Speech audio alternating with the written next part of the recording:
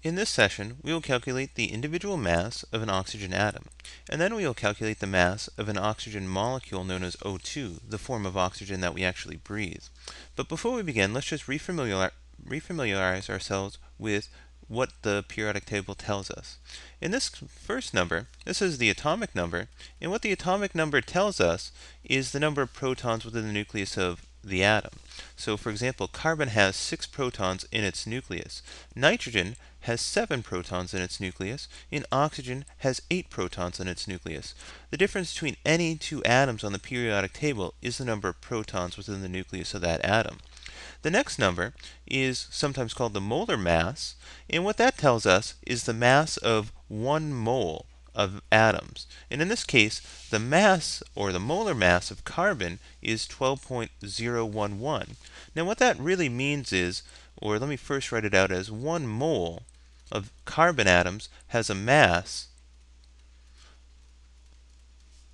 of 12.011 grams.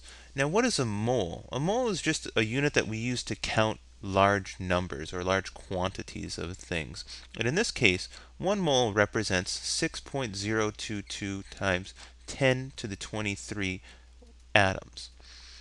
So what this is really telling us is that one mole of atoms, or this many atoms of carbon, has a mass of 12.011 grams. Now, let's just, before we go into any further calculations, let's just say a few more things about the periodic table.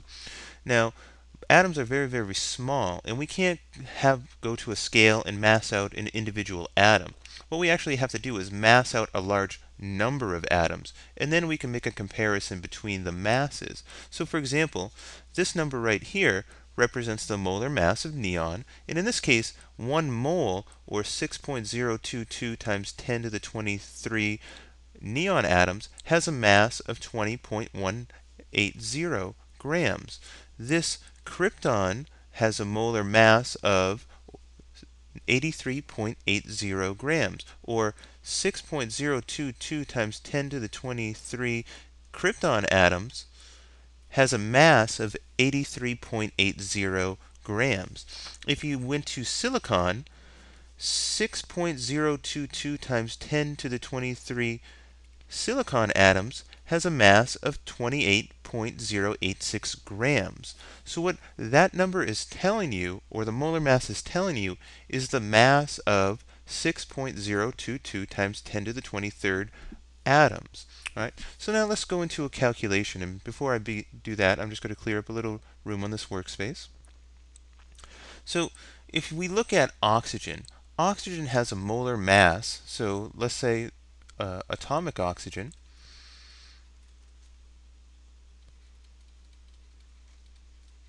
Atomic oxygen has a mass of 15.99 grams. Now what that means is 6.022 times 10 to the 23rd oxygen atoms has a mass of 15.99 grams. Right? So an individual oxygen molecule is very, very small and doesn't have a lot of mass. So we need to measure or mass out a large quantity of oxygen atoms before we can actually measure it on a laboratory scale. Now, if I want to figure out the mass of an individual oxygen molecule, what I need to, or excuse me, an individual oxygen atom in this case, what I need to do is divide both sides by 6.022 times 10 to the 23rd. And when I do that, I can find the mass of an individual oxygen atom. So I divide both sides by 6.22 times 10 to the 23rd. And when I do that, the number I get is 2.66 times 10 to the negative 23rd grams. So one oxygen atom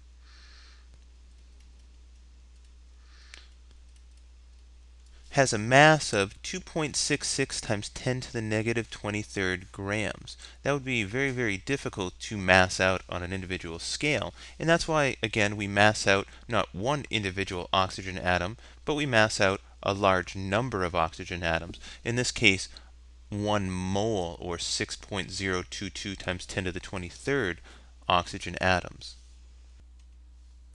Now, if we wanted to find the mass of one oxygen molecule, so the form of oxygen that you breathe in is called O2, and it actually looks like or has a molecular structure of OO with a two lone pairs on each oxygen atom and a covalent bond. That's not, or it's a double covalent bond, and that's not necessary to know to calculate the mass of one oxygen molecule, but it's good information to have in the back of your head.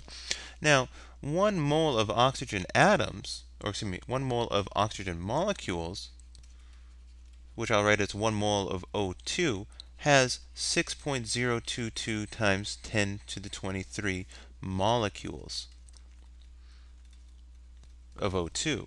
So this is mole, not molecule, and this is molecules. Now, one mole of oxygen atoms, or excuse me, one mole of oxygen molecules has a mass, so one mole of O2 molecules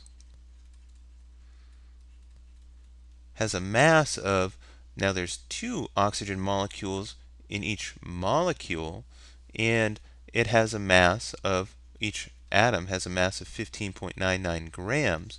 So one mole of oxygen molecules has a combined mass of 31.98 grams.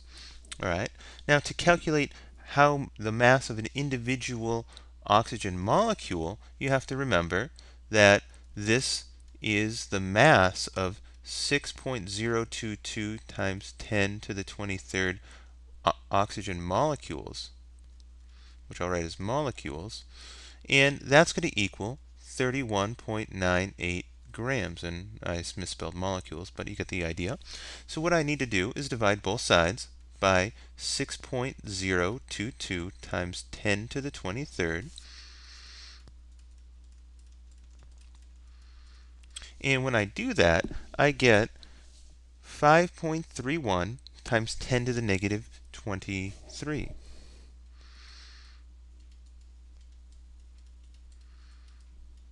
And that'd be grams. So one oxygen molecule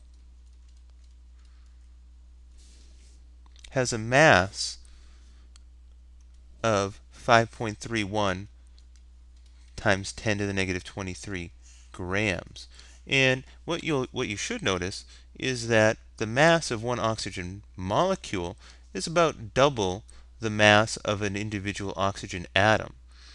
All right? So we'll pick this up in the next video.